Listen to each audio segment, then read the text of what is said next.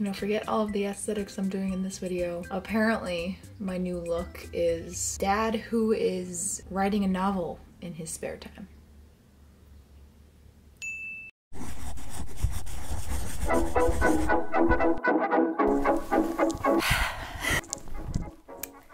Hello! So a few months ago I made a video. I asked you guys to make up some aesthetic names. Wacky arm inflatable tube man, core.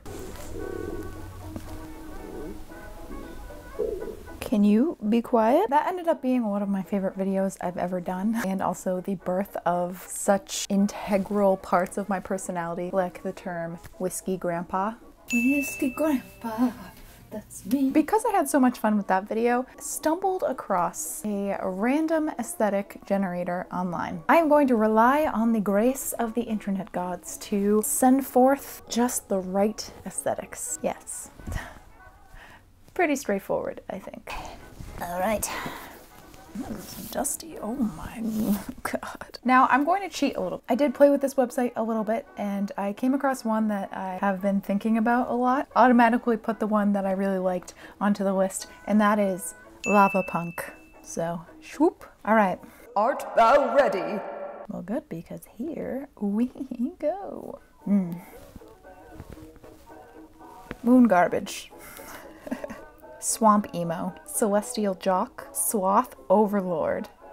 I don't know what that means, but I'm gonna write it down. Anime Dad, Stormcore. Ooh. uh, same. Les Mis Garbage. garbage, garbage. Space Retro, that's kind of cute. Woodland Core. Garden Vintage, oh that's kind of cute. Blech. How would one do werewolf? You know what? Just because it intrigues me. Werewolf retro. I'm gonna write it down. Nature garbage. That is mm. me. Moss core. Ooh, that's a good one, I think. All right, we'll do one more. And so she said one more, and legend has it she's still clicking today. Circus vintage. Morgan you. Uh, Mama needs a new aesthetic. Victorian dragon. Ooh. So we've got some options here. Oh, it's way more carbonated than I expected. Before I put them to Hunger Games battle it out on the internet, I'm gonna pick my favorite out of these. All right, time for these to battle it out. Can you see the blue screen of death reflected in my complexion? Swear to God, if that didn't save my document, better still be there, or I'm gonna be mildly upset. Tis not. Good. Mm, it's fine. Everything's fine. So basically I have pitted the ones that I'm on the fence about against each other for all of you to vote on. You'll just have to wait and see what I choose tomorrow. Now obviously I'm a bit biased with these decisions because I wanted to choose ones that I could envision, I'm still reaching towards the ones that spark my fancy. Or tickle it, you decide. It is at this point in the video that I forgot to mention this video is sponsored. so here is sponsor Rachel. Oh hi, welcome to my bathroom. so today's video is sponsored by Function of Beauty. What is Function of Beauty, you may ask? Except probably not because I have worked with them quite a few times. Function of Beauty is customized hair care. Basically what you do is you go to the website, you take a short two minute hair quiz, you tell them your hair type, your hair goals, these are mine, and then you even get to choose your scent, your color, and the name that you want to put on the bottle, which I don't know why, I just think is so cute. And also stickers. Yay! As an extra little treat, I like to add on the leave-in treatment for a little extra zhuzhing. Shush. I've said this before, but I always find a huge difference between when I use them and then when I run out and end up buying the cheapest of the cheap at the supermarket. What was that? You would like a slow-mo hair flip reminiscent of a 90s hair commercial? Okay. Also, you can rest easy knowing that it's made of good stuff. They don't test on animals, it is 100% vegan and cruelty free. There are no sulfates, parabens, GMOs, or toxins. Good stuff. So if you do want to check them out, which I highly recommend, um, my mom uses it, my sister uses it, so I recommend it to people outside of YouTube all the time, you can head to the link in my description to save 20% off of your first order. Thank you so much Function of Beauty for sponsoring this video. Without further ado, let's get back to it.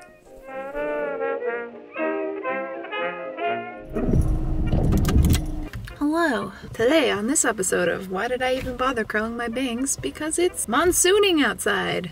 Hmm. I'm at the thrift store. I'm waiting for my friend Sarah to arrive, so I have a little bit of time to kill. Not a problem.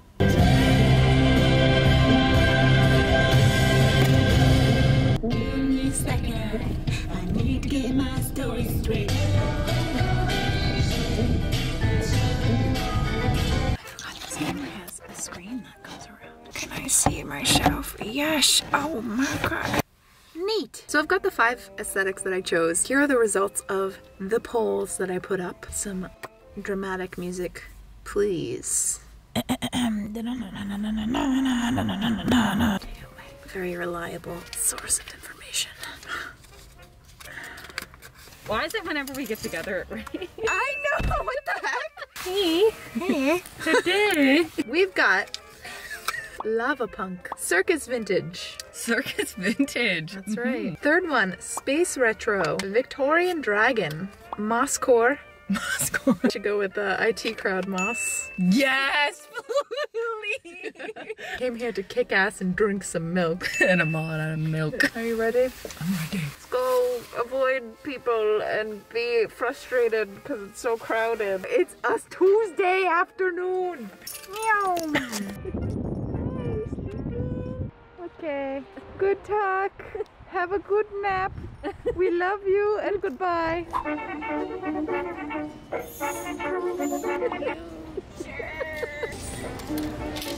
My fast thirsting hand.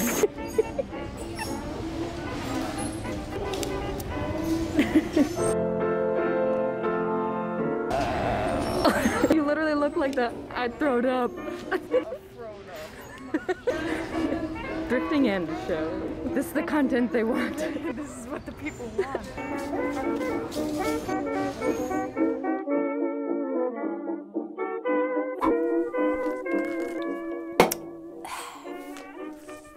Guess I'm drinking coffee at 8 o'clock at night. Am I going to sleep tonight? That's anybody's guess. Granny Rachel is coming at ya. I wasn't gonna pretend that this isn't what I look like 98% of the time. In fact, I got a little something for you. It's a M&M for you. So I'm not quite sure how I want the, the organization and the uh, flow of this video to go. I'm just gonna work my way. And first up is Lava Punk. Alright, so for Lava Punk, don't ask me why, but I have a very clear image of a jacket that has kind of lava chunks and molten magma on the back. I kind of struck out a little bit at the thrift store. I thought for sure they would have just a cheap black leather jacket. Only leather jacket or faux jacket that they had was this Forever 21 jacket, a baby blue. Sarah suggested that I plasti dip it, and I think that is the perfect idea. Eh, might work, might not work. I am going to rip the sleeves off, creating that kind of lava and rock formations on the back. Good old model magic. Ew. Well, that's ironic. There is literally a spider web coming down from the ceiling and onto Peter here. Up, up, and away with! Gross. Anywho, once again, I have bit off far more than I can masticate. Okay, here we go. So taking that model magic, or as I like to call it, the great hack of the art world, I'm using paper to texture it and make it look like rocks. This worked, but then I discovered just ripping it gave it a much more porous texture and it looked much more like lava rock. lava rock.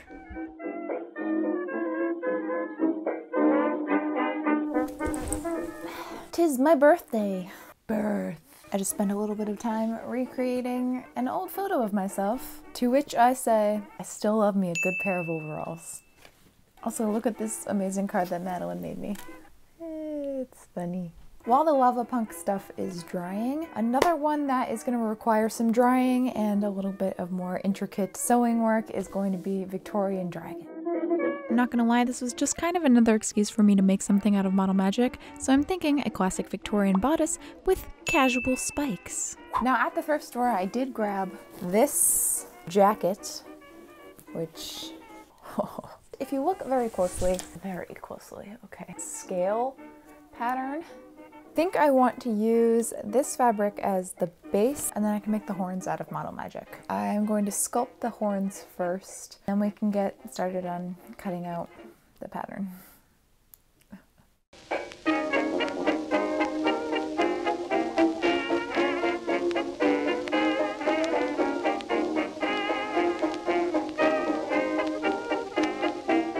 Taking that jacket, I tore apart all of the different components, including the sleeves, just to maximize the amount of fabric that I could get out of it. Well, let me tell you, this uh, tested every single one of my brain cells, and I rearranged things about 34 times. You can always tell my brain is a working when I started tapping my fingers. Just thinking real hard. Finally, I came to the decision that some of this would have to be black bed sheets, so I did the sleeves, the back, and the collar.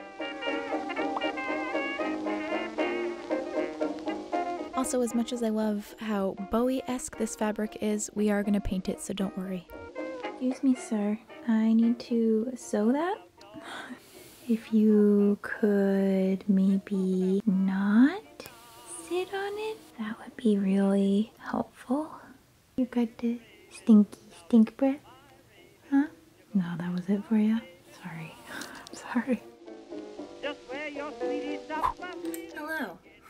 We have uh, we have a lot of work to do. So moving along, uh, Victorian Dragon is coming along nicely. I need to add buttons and then once the horns are dry we can put the horns on, paint those. For Lava Punk we need to put on the rocks. Now this is gonna probably look very silly. If at some point in your projects you don't feel like just chucking the whole thing out the window, then is it truly a journey? While those are kind of in uh, limbo, I think we can get started on Space Vintage. We all know how much I enjoy a good suit, so that's what I wanted to do for this, except a little futuristic. Now for this one, I have a piece that I picked up, completely lucked out on because I did not think that there would be any chrome-esque fabrics available, but you know what? There were. Fancy that. why do I look like a middle-aged dad? What's happening? Hey, champ. You know, forget all of the aesthetics I'm doing in this video. Apparently, my new look is dad who is writing a novel in his spare time. I'm gonna show you the garment and then I'm just gonna start ripping and tearing. Whoever decided that making five garments in such a short span of time, I will be writing a strongly worded email to myself. Now really feel like Austin Powers, god damn it.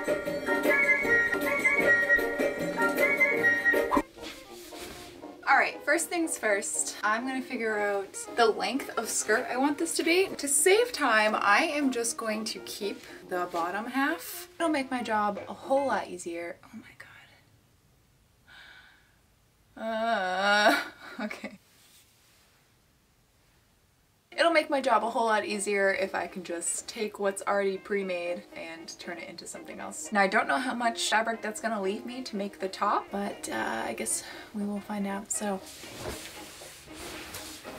oh, this place is a mess. Oh my god.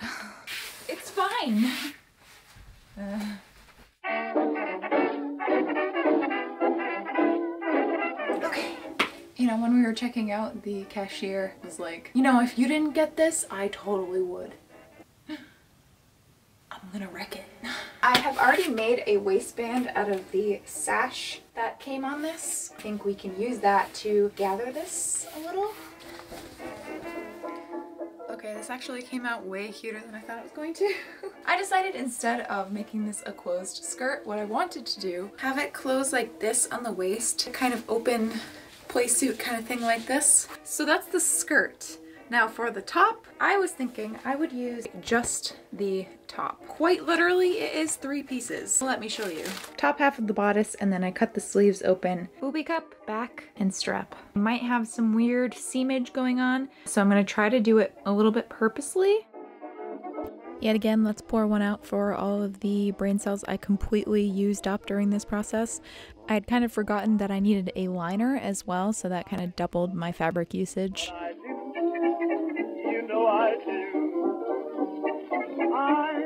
But once all of those pieces were sewn together, I could do the lining, which is the same thing, and then turn it inside out, and then you can sew along the bottom. What new horizons can we look now? Where are tomorrow's opportunities? The frontiers of the future are not on any map. But now, what's ahead of us?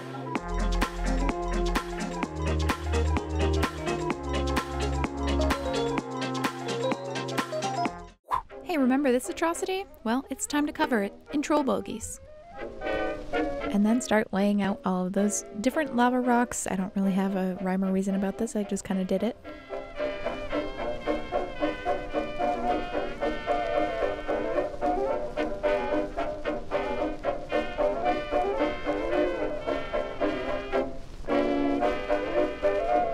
Now, yes, this is an extremely roundabout way to do this, and I feel like that guy from the five minute crafts meme would be like, just buy a jacket. But you know what? You get you do what you gotta do. So I started off with a darker orange, went in with a lighter orange, and then from there an even lighter orange. I also added a metallic silver onto the rocks to make them look more like lava rocks, and then added yellow in between all of the really hot places.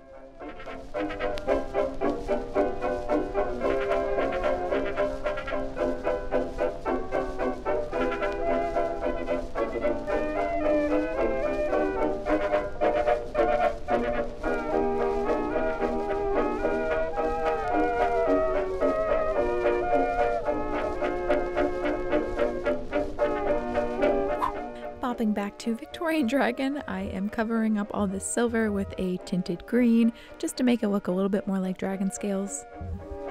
Then taking this office supply I had sitting around the house, I could not tell you the name of this for the life of me, I stuck it through the bodice and then coated the underside of the spikes with glue and just stuck them on there.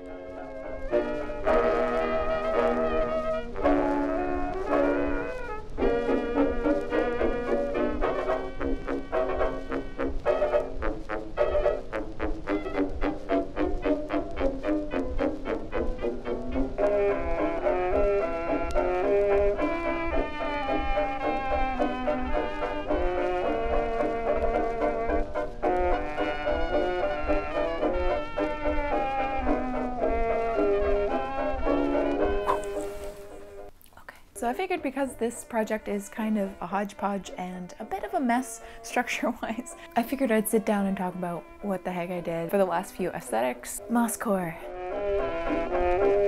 For Mosscore, I really, really wanted to find a way to embroider moss onto fabric. I'm pretty sure Mosscore already exists.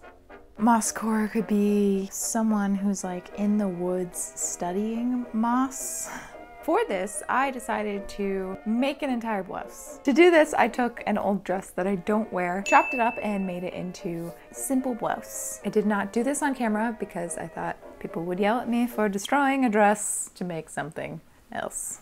So I looked up how to do some embroidery moss and it was actually not that hard. You do a, a classic French knot, as us embroiderers like to say, which I had totally done a plethora of times before I recorded this video and not just looked it up quickly on Google.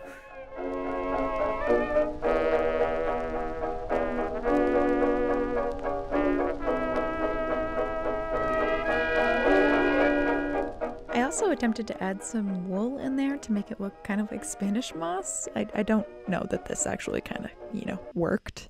Now, this resulted in a lot of tangling and a lot of curse words being thrown towards the garment. garment.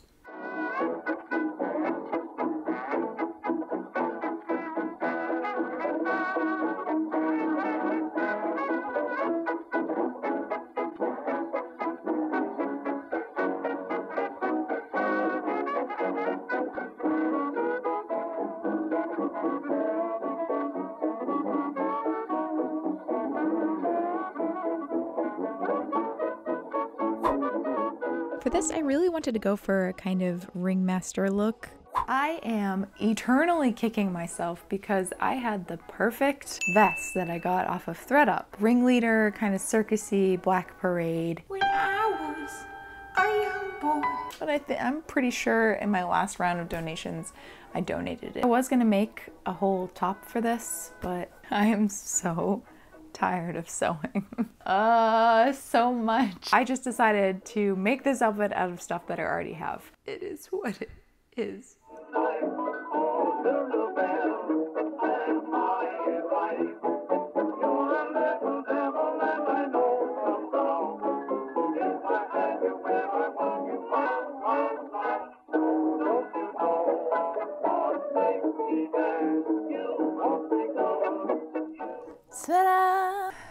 We're done. So those are the five randomly generated aesthetics, or at least my best attempt at them. I think some of them came out really good. Well, some parts of them came out really good. I think this one came out a little underwhelming. Gaston.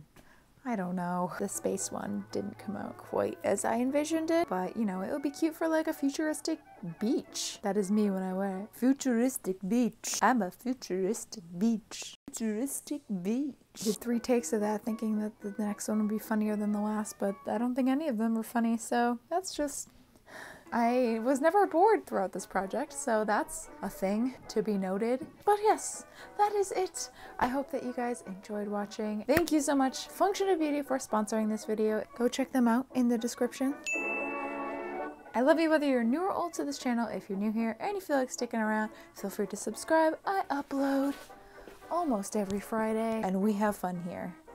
And I will see you in my next video. Bye!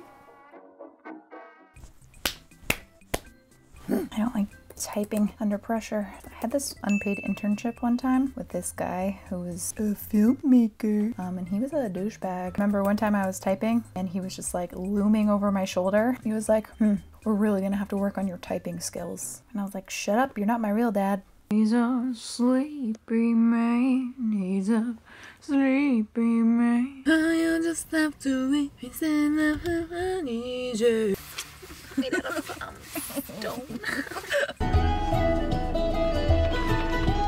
It's very flexible. Memory.